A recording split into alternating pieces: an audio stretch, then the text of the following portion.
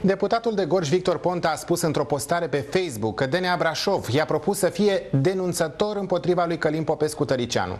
Fostul premier susține că a refuzat propunerea legală a anchetatorilor. Fostul premier spune că propunerea a primit-o de la procurorii DNA Brașov. Am fost citat la DNA Brașov ca martor. Spre surprinderea mea, nu m-a așteptat nimeni de la presă și nici nu s-a dat ulterior pe surse ce am declarat acolo. Mi s-a propus legal să fiu martor cu identitate protejată, ceea ce am refuzat deoarece nici nu era cazul și nici nu sunt genul de delator atât de proslăvit și iubit de noul nostru stat de drept, a spus Ponta pe Facebook. Declarațiile despre implicarea lui Ponta în dosarul lui Tăricianu au apărut în ziua în care președintele Senatului a cerut demisia șefei DNA Laura Codruța Chioveși.